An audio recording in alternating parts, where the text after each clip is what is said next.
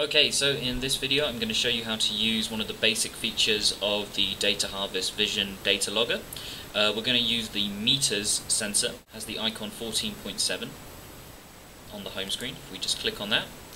If nothing's connected, like so, we should be presented with something, a box in the top right just saying 100 without any scales. We're going to use just one of the basic connectors and a sound level sensor to record just basically sound levels as I'm going along. If I plug, connect the sound level sensor, just plug it in like so, so it's connected, we'll see straight away it's already started to get a reading.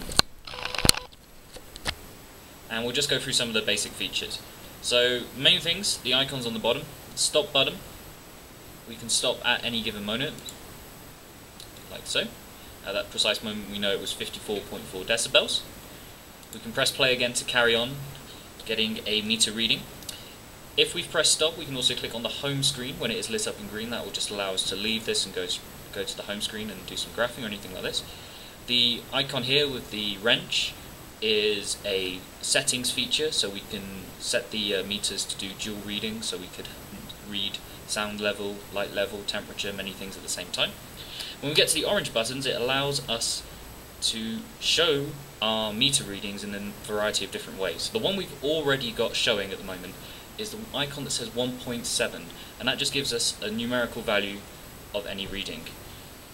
If I press the graph here like so, you'll see that the sound levels vary kind of little bar charts. So if I press some music,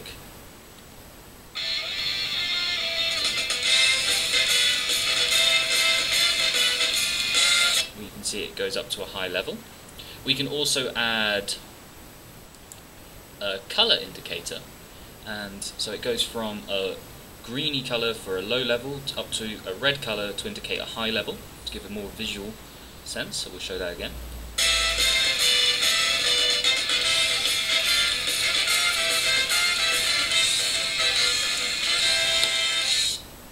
Like so. And we can also have a speedometer like so which gives us a little speedo indication of everything. The final button is the button with a T allows us to add any notes if we want. We can just type anything we want.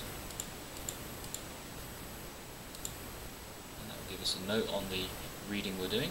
And if we stop the recording and press the final icon, it will have graph, it will have graphed the sound level over the time that we've been recording, so it stores all the data.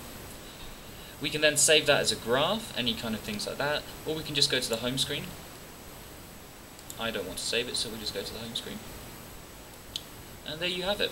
Now that can also be connected to your VGA port here, and that can be displayed straight onto a overhead projector. You don't need to format anything, you just plug it in, turn on the projector, and it's ready to go. So that has been the meters section of the thing.